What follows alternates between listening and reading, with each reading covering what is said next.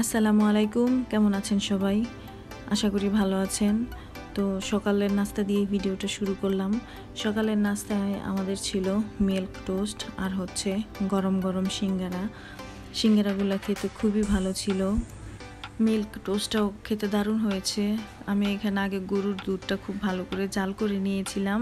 তো তারপরে এর মধ্যে আমি দুই চামচ পরিমাণ কাস্টার্ড পাউডার দিয়ে আর চিনি দিয়ে আমি একটু জাল করে নিয়েছি। তো তারপর আমি টোস্টের উপরে দিয়ে দিয়েছি। আর দিলাম পরে আর কি কিশমিশ আর এই তো, আরফা খাওয়া দাওয়া করে স্কুলে চলে গেছে, তো দুপুরে রান্না বাড়ার প্রস্তুতি নিচ্ছি। তো ইলিশ মাছ ভেজে নিচ্ছি আরফার জন্য। আরফা ইলিশ মাছ খুবই পছন্দ করে। আর এখানে আমি লেয়ার মুরগিটা রান্না করব। আলু দিয়ে একটু পাতলা ঝোল করব। তো এইখানে আমি পেঁয়াজ আর কাঁচা মরিচটা ব্লেন্ডার করে দিয়ে দিয়েছি। আর যা যা মশলা দরকার সব দিয়ে দিয়েছি। আমার একটু হাতে প্রবলেম তো তাই আমি আজকে হাতে মেখে দিইনি।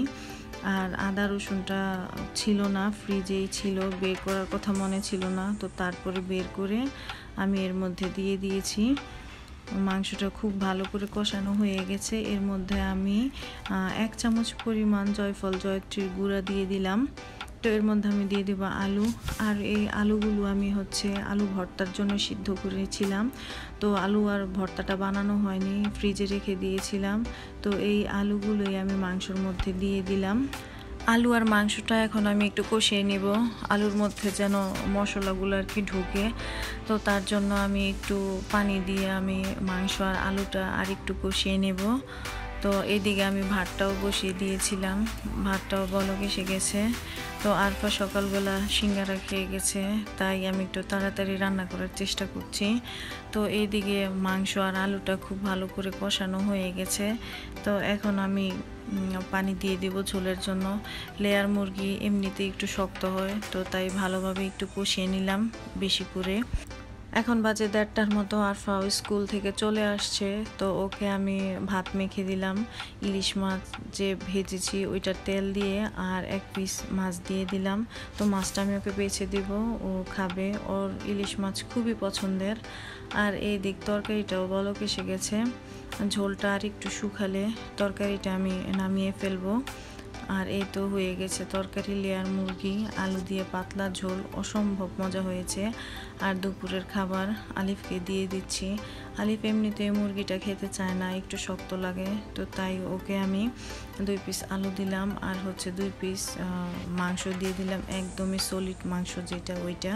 তো বিকেল টাইম এখন, আলিফ তো এমনিতেও ওই লেয়ার মুরগিটা খেতে চায় না, তো ওর জন্য আমি একটু মাছ ভুনা করব।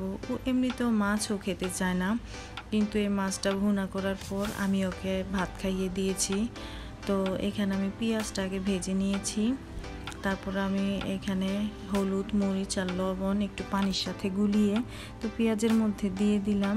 পেঁয়াজটা ভালো করে কষানো হয়ে গেছে, এর মধ্যে আমি ভাজা মাছগুলো দিয়ে দিলাম। আর এটা হচ্ছে সিলভার কার্প মাছ। মাছটা খুবই বড় ছিল আর মাছটা খেতেও খুব সুস্বাদু। তো আমি পেঁয়াজের সাথে মাছটা খুব ভালো করে একটু ভেজে নিব। তো ভাজা হয়ে গেছে মাছটা। এখন আমি এর মধ্যে পানি দিয়ে দিব ঝোলের জন্য। আমি মাছ ভুনা করলে আমি পেঁয়াজটা একদমই গলিয়ে ফেলি না। পেঁয়াজটা একটু আস্তে আস্তে থাকলে মাছটা আমার কাছে খেতে খুবই ভালো লাগে, ভুনাটা খেতে। তো এই দিকে বলক এসে গেছে মাছটা। আর একটু শুকালে ঝোলটা একটু মাখা মাখা হলেই আমি নামিয়ে ফেলব। আলিফ এমনিতেও মাছ খেতে চায় না একদমই, তারপর আমি একটু জোর করে ওকে দেই।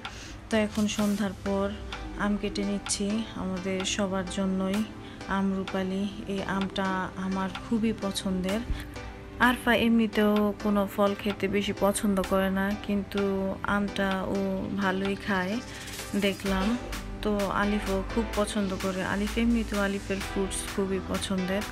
তো যারা যারা ভিডিওটা দেখেছেন, সবাইকে অসংখ্য ধন্যবাদ। আল্লাহ হাফেজ।